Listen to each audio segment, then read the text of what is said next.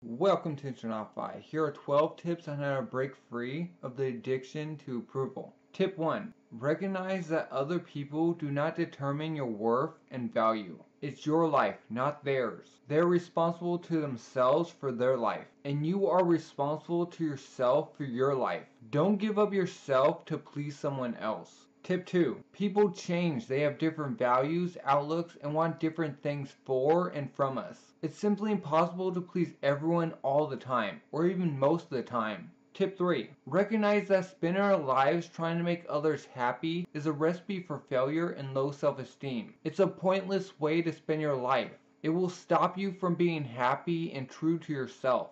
Tip 4.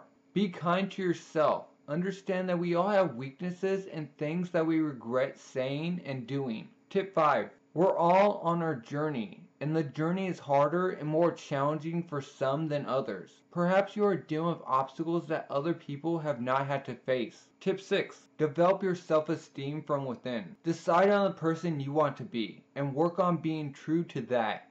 Tip 7. Think about what really matters to you and the different goals you'd like to achieve. Then set these as a priority. That is, decide what you want to do instead of worrying about what others would like you to do. Tip 8.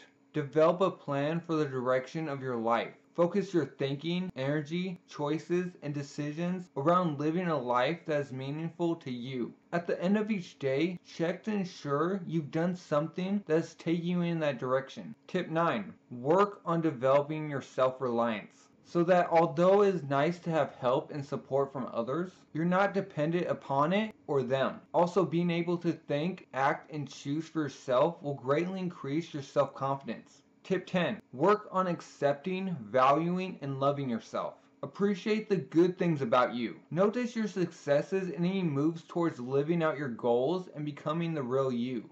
Tip 11. Choose to live in the moment. Decide not to keep going over the past or worrying too much about what lies ahead. Notice and relish what is good about right now. And tip 12. Choose joy.